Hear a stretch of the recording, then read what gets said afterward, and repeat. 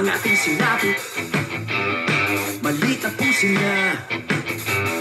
Huwag tayo mang paggamit Isigaw sa langit, kailangan na. Pagbabago, huwag namang maulit Natuto na. Pilipino, mahalaga ang